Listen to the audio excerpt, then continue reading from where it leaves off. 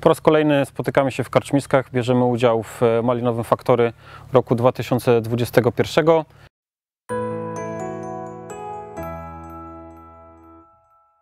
Mamy początek sezonu, więc e, kilka problemów e, się nasuwa. Wiadomo, niskie temperatury, stres termiczny, początki pojawiania się różnego rodzaju szkodników. Jako ICB Pharma na ten problem niskich temperatur i regeneracji po różnego rodzaju stresach termicznych polecamy produkt e, Megis, czyli ortokrzem z mikroelementami, działający e, wielokierunkowo na rośliny, zarówno e, poprawiający jej właściwości mm, mechaniczne, jak i stymulujący do, e, do wzrostu i poprawiający tolerancję na, na, na stresy temperaturowe, jak i regenerację po tych stresach oraz e, produkt Miligard, czyli nawóz e, fosforowo-potasowy.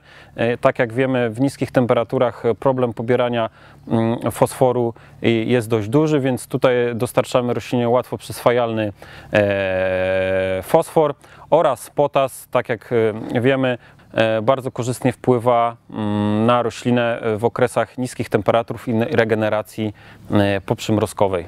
Pamiętajmy również, że jest początek sezonu e, w, uprawach tunelowych, jak i w otwartym e, gruncie zaczynają pojawiać się szkodniki.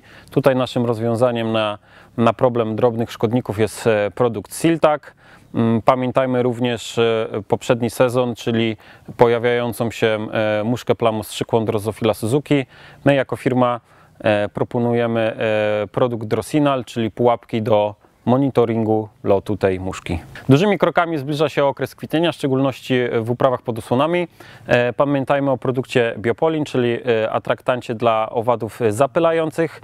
E, Pamiętajmy, że prawidłowe zapylenie jest jednym z głównych czynników plonotwórczych pod względem zarówno ilościowym, jak i jakościowym.